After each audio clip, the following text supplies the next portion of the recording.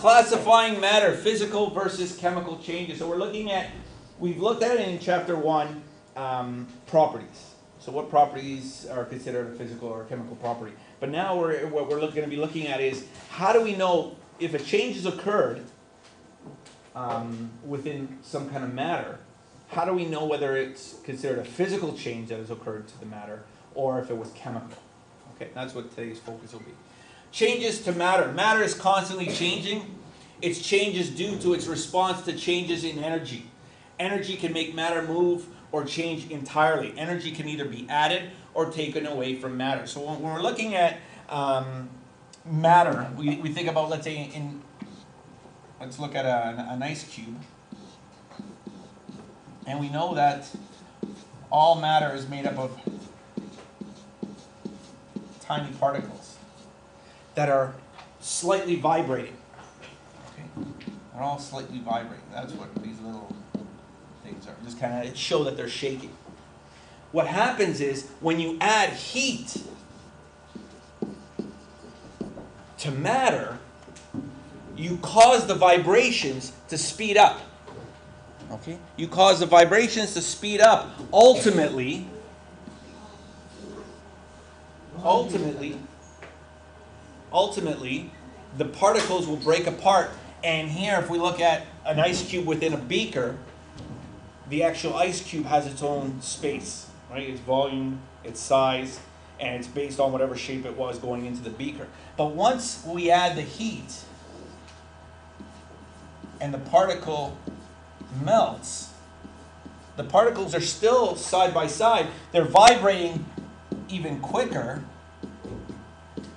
within, but now they're filling in the shape of the beaker. Ultimately, if we continue to add heat to this beaker, the particles are going to start to vibrate even quicker.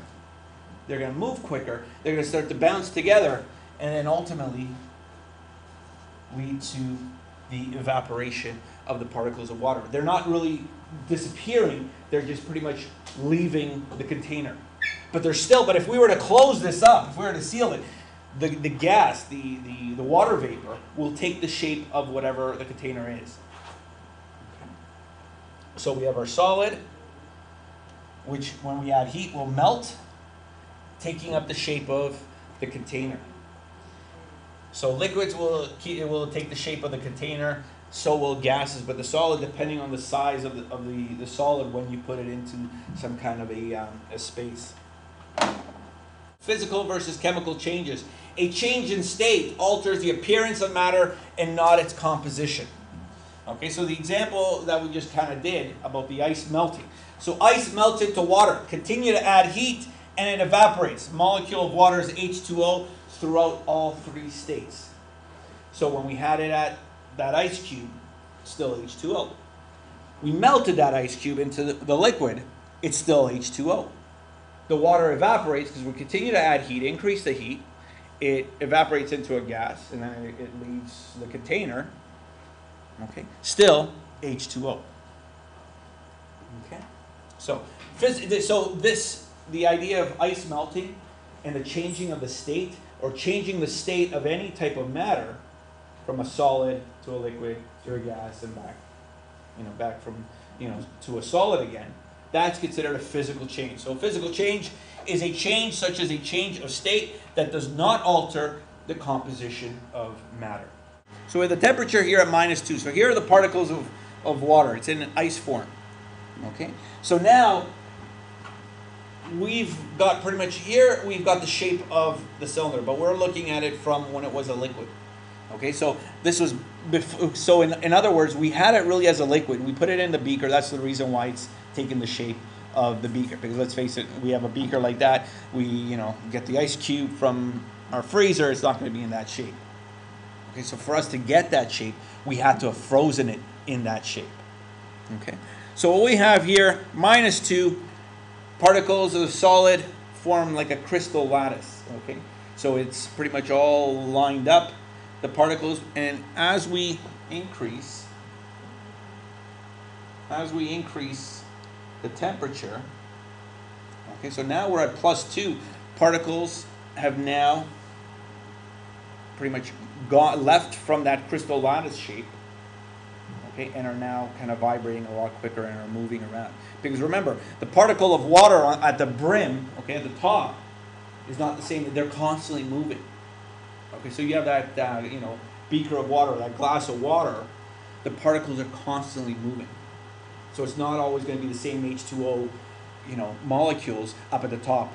Okay, they're, they're constantly moving. So as we move the te- eh, as we increase the temperature, watch what happens to the particles. They're still okay. We're losing some, right? Bubbling. So what's happening? What's really what's what's leaving? Mo- molecules of water, right? So they're they're slowly evaporating as the temperature increases. So particles are going to start vibrating a lot quicker. And we're approaching the 100 degrees Celsius mark. And what do we know at the 100 degrees Celsius mark? Boiling point of water. Very good. Chemical change. So we looked at physical change. Now we're looking at chemical change. So chemical change changes that alter the composition of matter. Okay, so an example iron rusting, uh, decomposition of water. Now, this has nothing to do with melting or boiling of water. This has to do with breaking down, decomposing. Think of decomposition in types of reactions. Decomposing a molecule of water. So we're talking about pretty much breaking it apart on a chemical level. Right? Remember the, the uh, electrolysis of water, the lab that we did last year. Okay, with the hydrolysis kit, where we put the water, we hooked it up to the battery, and we saw the bubbling, and we saw that one level was higher than the other because there was more gas, right? There was more either H or oxygen. That's really what the whole point of the uh, of that that part of the experiment really was. Okay, so iron rusting, decomposition of water, wood burning, baking of bread, cooking an egg, lighting a match. These are all reactions in which to bring it back is going to be very difficult. It's going to require a lot of energy to get it to go back to the way it really was.